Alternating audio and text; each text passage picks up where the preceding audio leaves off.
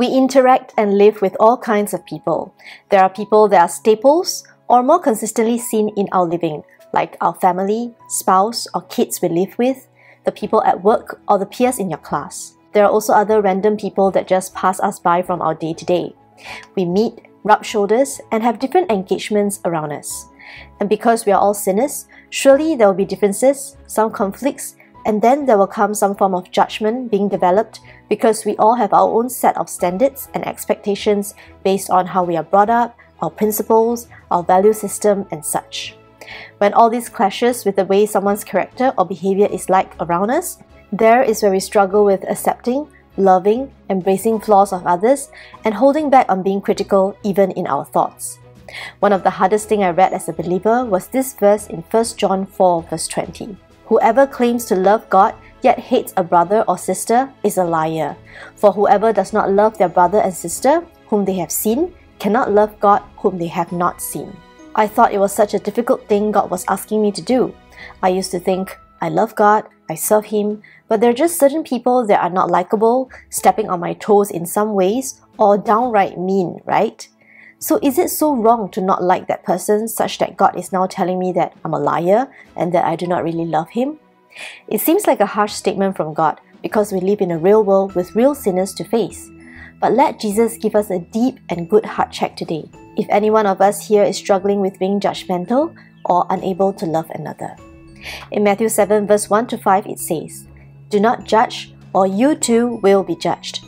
For in the same way you judge others, you will be judged and with the measure you use, it will be measured to you.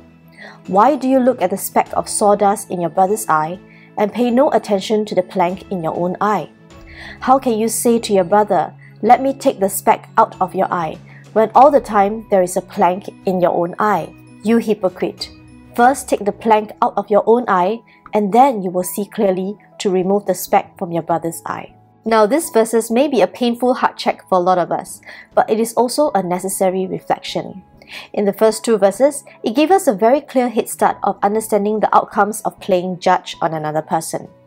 The thing is, no human standard of righteousness can ever meet God's righteous standard of judgment, because in the first place, no one is entirely righteous and good.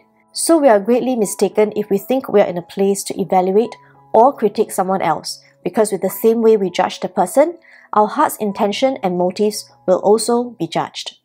So, brothers and sisters, when we are faced with another person's sinful or undesirable behavior or words, what is your first reaction? Are we quick to judge them, or do we find ways to restore? Only when we truly know and reflect on the gracious mercy that Jesus has on us, that we, unrighteous and flawed sinners in our own ways, have received His merciful judgment and generous grace, then can we look at others through the rightful perspective of God and discerning how to handle our relationship with them.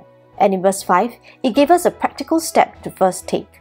That is, to take the plank out of our own eye before we even see clearly to remove the speck from someone else's eye.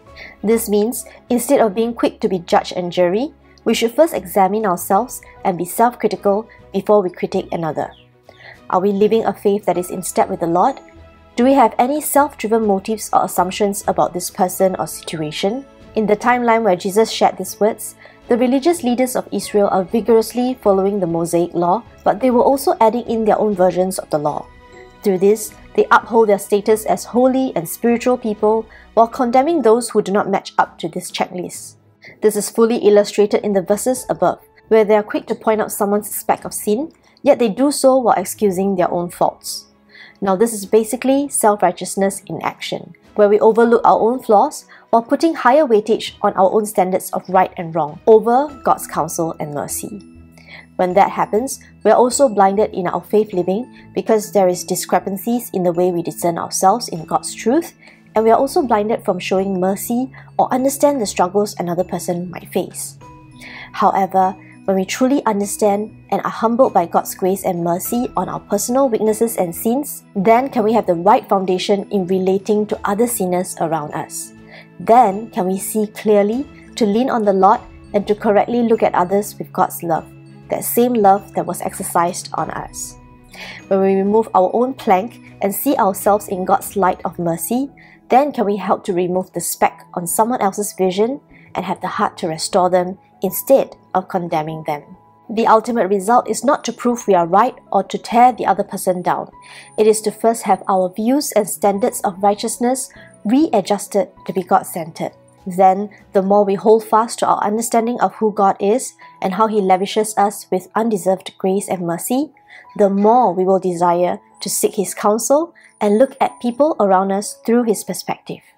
So, brothers and sisters, in what way are you prone to judge others harshly? It is not easy, but may this call for self reflection and examination help us deal with looking at the faults of others in the right light. God bless.